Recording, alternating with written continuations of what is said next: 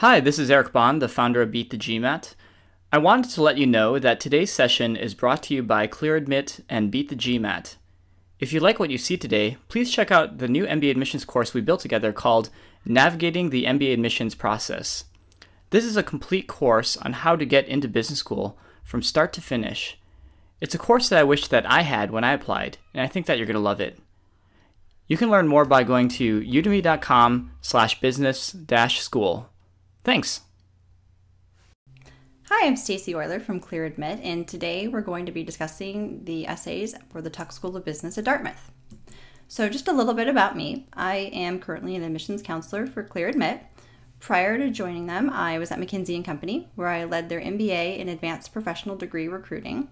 And prior to that, I was actually assistant director of admissions at the Tuck School of Business. So, this is a school that's pretty near and dear to my heart, so I'm pretty excited for today's conversation. So let's talk about the Tuck essays. So there's four essays, and Tuck is a little bit interesting in that they sort of give a suggested word count. They don't say stick to 500, it's sort of suggested or implied. And by that, they really do mean 500. I think they're just being a little bit nicer about it. Um, as I, have sort of said before, and I always say to my clients, uh, this is something that if you ever talk to me, I'll, I'll probably say over and over again word counts matter. Suggested word count doesn't mean it's okay if it's 800. It needs to be 500. Um, the general rule of thumb is plus or minus 10%, but that means 550.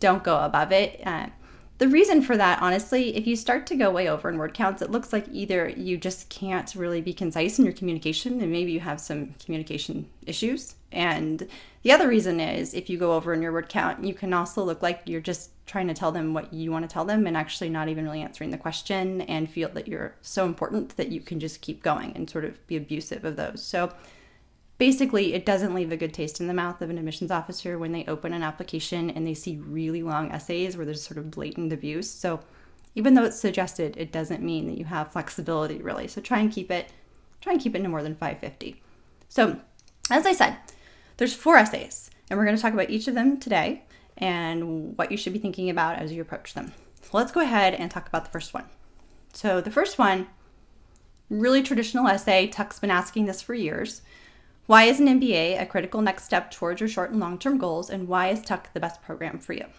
Okay, so two part question, right? First part, traditional standard why MBA question. A really great way to think about this is sort of your short and your long term goals. Um, what have you been doing? What are your short term goals? And what are your long term goals? Really just getting straight to the heart of it, not some long story about one day when I was working in Brazil. I woke up and I thought, you know, no one cares, right? It's really what what are your goals? Just get straight to the point here because again, you just only have around 500 words, so you can't tell this elaborate buildup as to why these goals are really important to you, but rather what are they?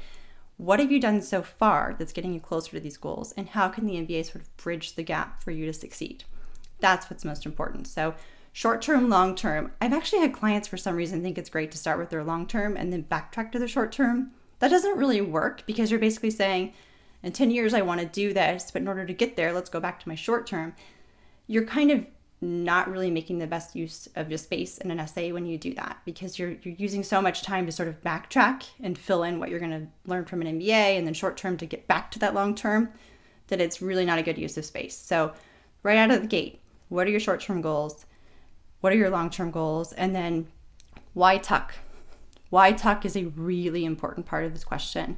I can't really stress enough how much Tuck really cares about its community. It's really small. It's one of the smallest business schools out there, as you probably know if you're applying. And so, how much you know about the school really does matter. How are you going to fit in with their culture? What are you going to contribute to their community? What do you plan on doing when you're in Hanover? I mean, it's a really small town in the middle of nowhere. It's a really special place, but how much research have you done really does matter you're kind of given two opportunities in your Tuck essays to kind of touch on why Tuck and why you want to be there. And this is your first one. Take full advantage of it. So then sort of speaking to that, let's talk about how how you want to approach it in the sense that why Tuck shouldn't be all the great things you're going to learn and get out of the program, and how, you know, there's this professor and that professor and this class and that class and this internship and this opportunity, so that it just feels very self centered and all about what you're going to take from the program it's a give and take thing, right? If they admit you, they're expecting that you're going to give back and others are going to learn from you being there. So remember, talking about your fit with the community, the contribution you're going to make, that's very appropriate and should be part of this discussion. It shouldn't just be all the great things that you're going to get out of attending. So keep that in mind, be really specific. Tuck actually has um, a program where they will link you with a current student. So if you haven't checked that out, get on their website and you can sign up and you can actually talk to a current student or alumni and learn more about the program. So take full advantage of that resource. I mean, I, I know a lot of people will spend 30, 45 minutes on the phone with some of these guys and that's a really great opportunity to get a lot of personalized information. So use it if you can. I strongly suggest checking that out. So the next essay is essay two. So discuss your most meaningful leadership experience. What did you learn about your own individual strengths and weaknesses through this experience? Okay, so this is a meaningful leadership experience. So, this is a leadership question. A lot of schools ask some form of leadership questions. So, the first thing to think about is what form is this essay going to take? Is it going to be is it going to be some sort of personal growth um, project? Kind of where is the leadership coming from? Is this going to be professional or is it going to be something that takes place outside of the office? I think either would be appropriate for this. It's just a matter of deciding in the whole balance of all of your essays where this is going to fit in. So one important thing to think about that I think a lot of people don't is before you ever start even writing your essays, you need to figure out what you're going to write about for each of them. So, in the case of Tuck, you need to figure out all four essay topics before you actually put pen to paper. I know that's not really what we do anymore, but you know what I mean in the sense that don't just look at this and go, oh, leadership experience. I remember the one time when I led this fundraiser and just start writing about it because what if down the road that fundraiser would have been a much better example for another question. So basically, what I'm saying is don't pick what looks like the easiest question and just start writing before you decide what you're going to write about for all of your topics. Because you don't want to be in a situation where you use one and then wish that you hadn't because it works better down the road. So, so my point to all of that is as you look at this, you really want to think about am I going to write about a lot of personal experiences? I'm I going to write a lot about a lot of professional experiences? Am I am I sort of striking that balance here in the sense that you don't want to just write about all personal or all professional and sort of miss the boat. So, in the whole big picture scheme, decide which one makes sense for you, personal or professional, and go with that. So, the first part of the prompt is basically personal growth, the, the process that you went through. It should be sort of exercising your leadership, growing into your role. And then the second half of the prompt, which is what did you learn about your own individual strengths and weaknesses, should should come out in the sense that you should talk about the evidence of improvement on a weakness if applicable. But also, this is not a weakness essay question and you don't want them to think that you're focusing so much on a weakness and not on the growth. This is all about growth. So don't spend a lot of time sort of doting on, oh, you know, the reason that I grew was because I was so bad at X. And you spend so much time talking about the weakness that you're not actually talking about what you learned from that weakness and how that actually helped develop you as a better leader. So spend your focus of your essay talking about leadership, not about weakness. I actually had a client who who wrote an essay for this and he spent so much time talking about his weakness that I actually thought he was writing for a different prompt. And you don't want them to think that because actually the next question is, is really more applicable for that than it is for this. So again, this is a meaningful leadership experience. It's all about growth. What they're trying to get out of this is what traits and characteristics do you have as a leader? How do you grow? how do you learn and what kind of leader will you be after business school? So that's what they're trying to glean from this essay, and that's really what you should think about as sort of the big picture. So moving on, let's talk about the next essay, which is essay three, which is describe a circumstance in your life in which you faced adversity, a failure, or a setback. What actions did you take as a result, and what did you learn from this experience? So essentially, this is an essay about how the applicant handles less than favorable circumstances. So this could be just something that you failed at at work. This could be a setback. This could maybe be um, some really negative feedback that kind of impacted the way that you worked. I mean, it doesn't have to be this sort of life or death situation where you were just truly, you know, it was tragic. They're not looking for a tragedy. They're looking for how you respond. What actions do you take when when things aren't going your way? You know, how do you rise above that? That's really what they're looking for here. So again, this can be professional. This could be academic. This could be something that happens in the community. It's all about, again, striking that balance. If you just wrote about something personal, maybe you need to switch to professional here uh, just to strike the balance. So think about, again, your big picture as you're starting to develop your topic here. But basically, you want to think about the situation and was the trouble your own fault? Was the failure beyond your own control? What kind of feedback did you get? How did you respond? So 500 words isn't really a lot of words for this essay when i think about it. It's it's it's a decent amount but it's really easy to get so caught up in the story and actually sort of miss the important part which is the actions that you took and the results and the impact. If you kind of think of this this is really a behavioral question right they want to know what you do, how you respond, not what happens. So you shouldn't have this essay that's this long story about this really tragic situation and then a really quick, and then everything was okay at the end. It should be really, this is what happened.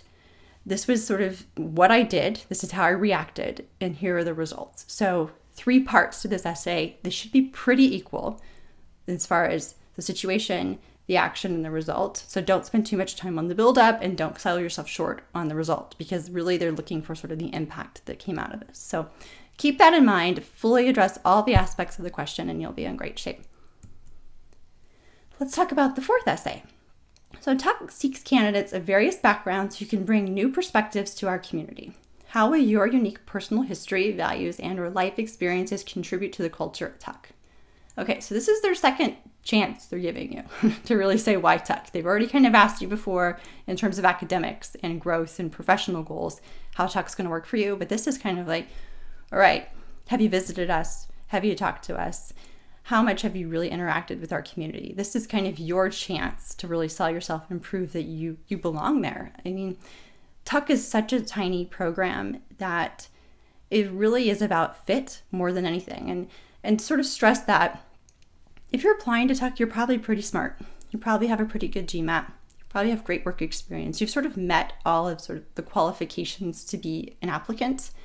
So this comes down to why would someone want to sit next to you in class? Why are you more compelling than the next person? Why, as a banker from New York with a 750 GMAT, are you more interesting than the next banker from New York with a 750 GMAT that I'm going to read in five minutes, right?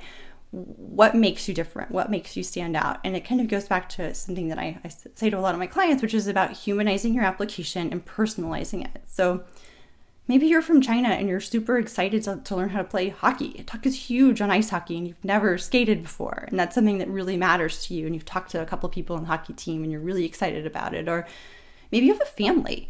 I mean at one point i think it was the class of 2006 at tuck 50% of that class was married, and of that, 50% of them had children.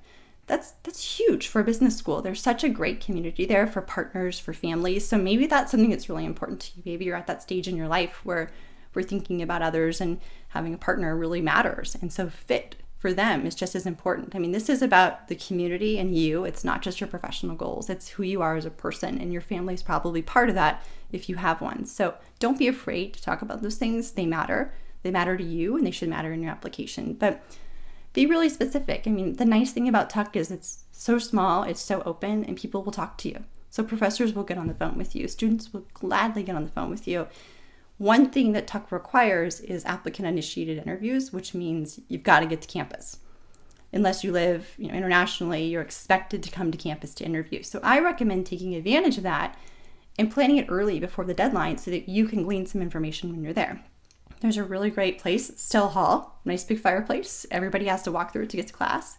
Grab a cup of coffee, sit there. You'll probably meet five dogs, 10 kids, and 100 students in an hour. So go, sit there, talk to people, take advantage of that interview, really learn from it so you can come back and put those experiences into your application. It's really going to be worth it.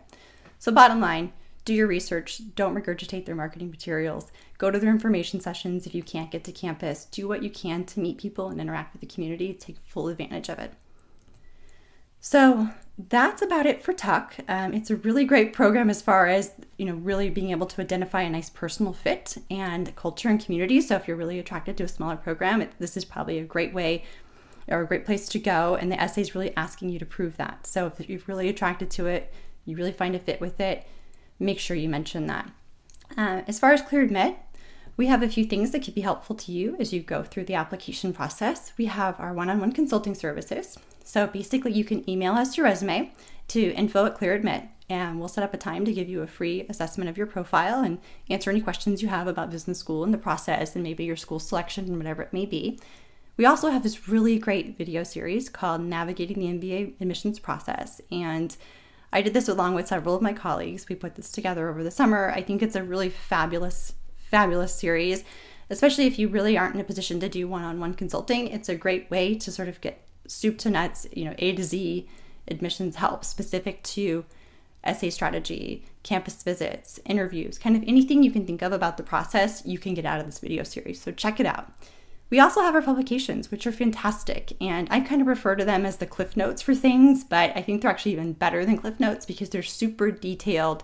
Something that would take you hours and hours of web research to figure out about a school, we've already got there for you in this great little PDF. So, highly recommend you check out those. We have them for schools, we have them for interviews, we have them for our strategy series. So, there's a lot of information available to you. So, check those out. And then our admissions community, we we have our blog and we also are pretty active on the Beat the GMAT forum, so check that out as well. Thanks a lot. If you liked today's Write Like an Expert session, please be sure to visit udemy.com slash business dash school and check out our course, Navigating the MBA Admissions Process. Take a look at the free preview at the top of this page.